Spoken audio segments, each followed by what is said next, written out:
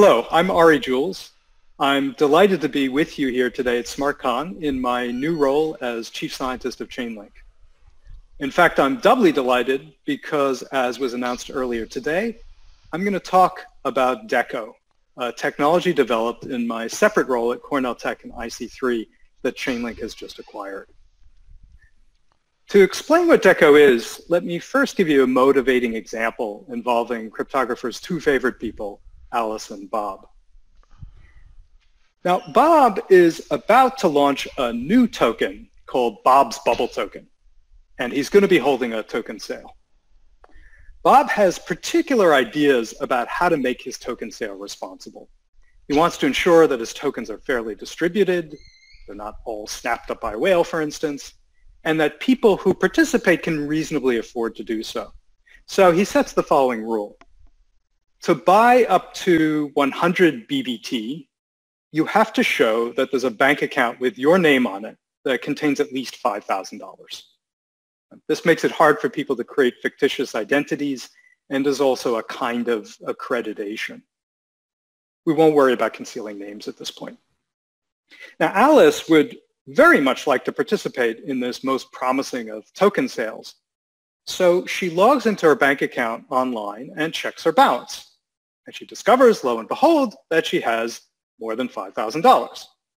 So she goes to Bob and says, hi, Bob, I've got more than $5,000 in my bank account. Naturally, Bob's response is the question, can you prove it? So how can Alice prove to Bob that she has a bank account with at least $5,000 in it? First idea is for Alice to take a screenshot of her bank account balance and send it to Bob. But this is a problem in that it's relatively easy to modify a screenshot using, say, Photoshop. Alice might have no money in her account and yet pretend to be a multimillionaire. So clearly this isn't going to work. Another possibility is that Alice sends her login credentials, her username and password to Bob. Bob then logs into her account and checks her account balance. Now this works, but it's a bad habit for Alice to get into if she wants to keep her bank account balance above $5,000. So that's not quite going to work.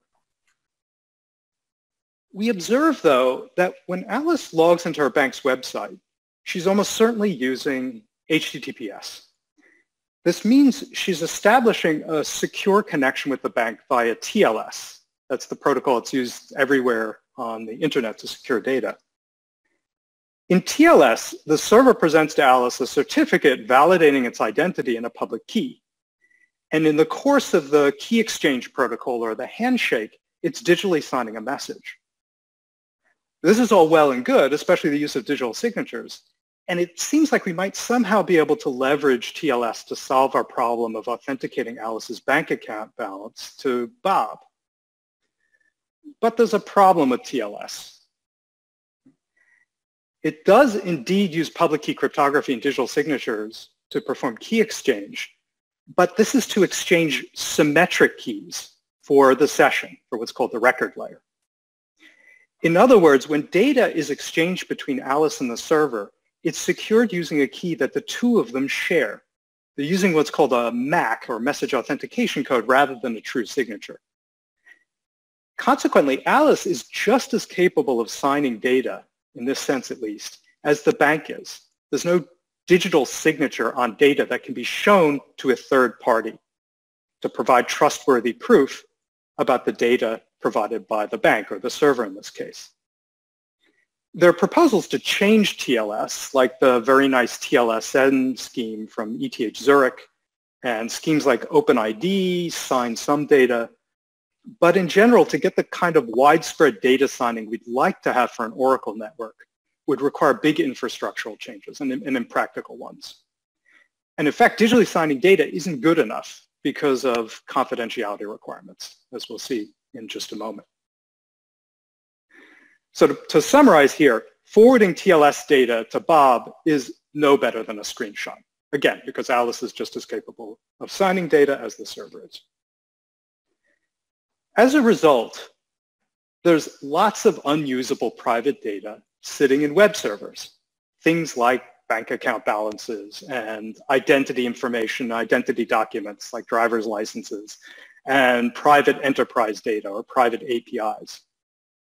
This situation is really frustrating for Oracle builders. Having data locked up this way is a frustration. Our solution to this problem is the system called Deco. What Deco aims to do is liberate this data, if you will, so it can be used in blockchain systems and elsewhere. Specifically, we want a user to be able to log into a website via TLS and then prove statements about the data she receives to a verifier using zero-knowledge proofs. For instance, in our banking example, we'd like Alice to be able to prove to Bob that she has more than $5,000 in her account, ideally without even revealing her bank account balance. And we would like to do this with no modification to the server. That way we can build on legacy infrastructure. But wait a minute, didn't I just say that TLS can't do this? I did, but Deco sidesteps the limitations of TLS using some tricks I'll now explain. So let's take a glimpse under the hood of Deco. Let me spend a few minutes explaining how it works. You don't need to understand any of this explanation to grasp what Deco does, but I'd like at least to convey some flavor of its mechanics. The key idea is something we call a three-party handshake. In explaining what that is, I'm going to refer to Alice and Bob alternatively as the prover and verifier because those are the roles that they'll be playing in the protocol here. When Alice or the prover logs into a website, the session key she establishes with the server is going to be split on the client side between the prover and verifier.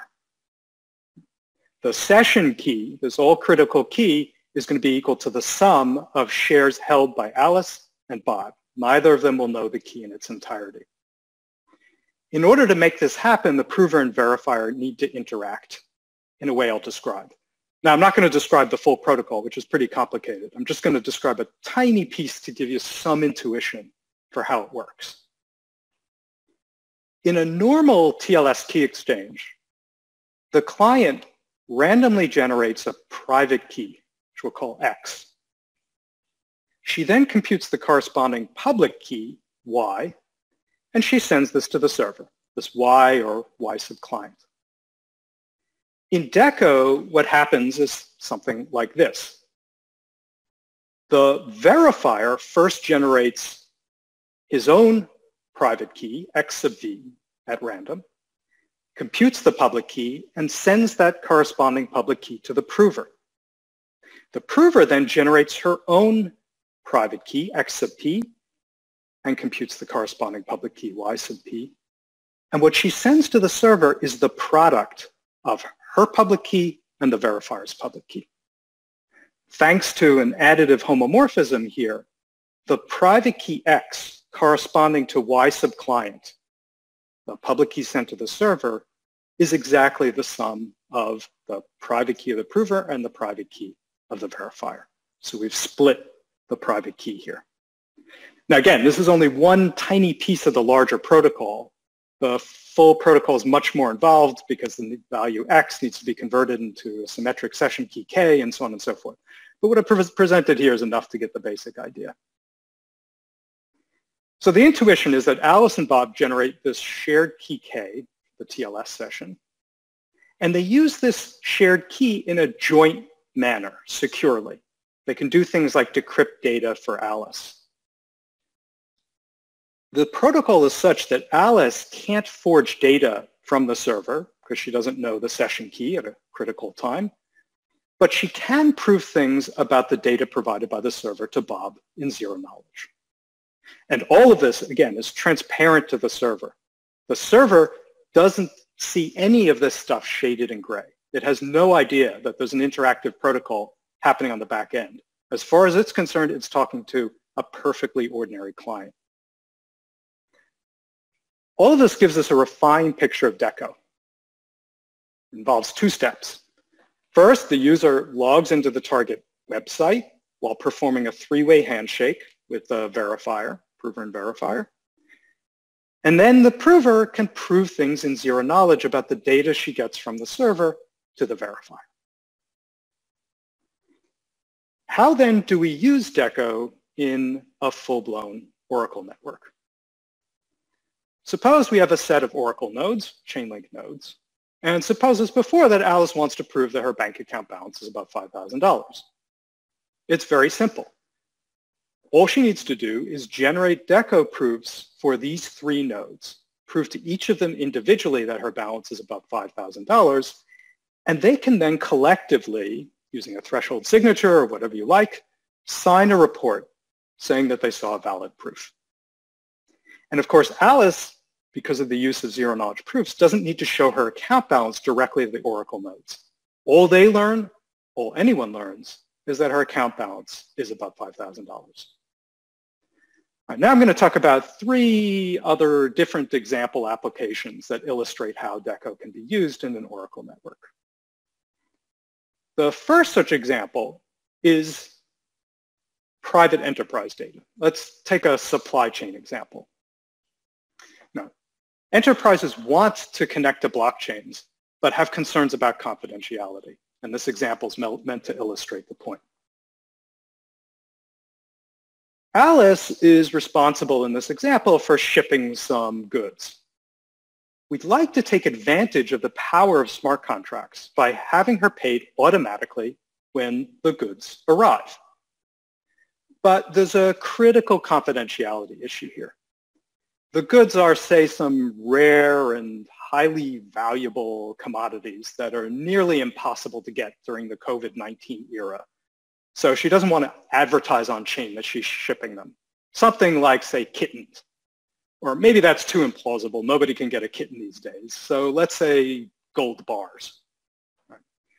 Alice doesn't want to reveal on-chain or to the Oracle nodes that she's shipping, say, two tons in gold bars.